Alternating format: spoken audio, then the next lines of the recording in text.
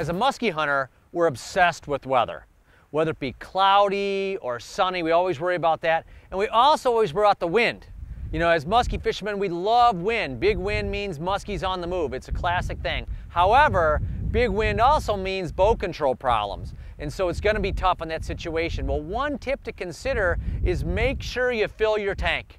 Whenever the wind is blowing, I always fill my tank with gas. And the reason for that is the boat's much heavier that way, so you can get from point A to point B much smoother. And when you sit down to fish, your boat's much more level, your bow is down, your trolling motor won't pop out of the water. It makes fishing much, much easier.